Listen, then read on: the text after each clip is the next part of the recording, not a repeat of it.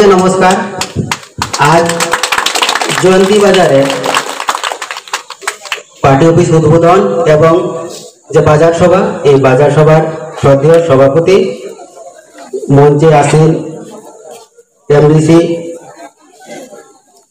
মহোদয়গণ এবং ওয়াইটিএফ এবং টি এবং জয়ন্তী বাজারের জনগণ, সবাইকে আমার ব্যক্তিগত পক্ষ থেকে নমস্কার।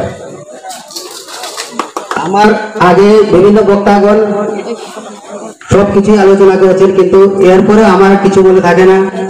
যেহেতু ত্রিপুরামতার পক্ষ থেকে আমাকে মনোনীত করা হয়েছে, আমার একটাই অনুরোধ থাকবে আপনাদের কাছে, যেন আগামী তেইশ তারিখে যে নির্বাচন উপভোগ, এই উপভোটে যাতে বিপুল ভোটে জয়যুক্ত করবেন, সবাইকে নমস্কার।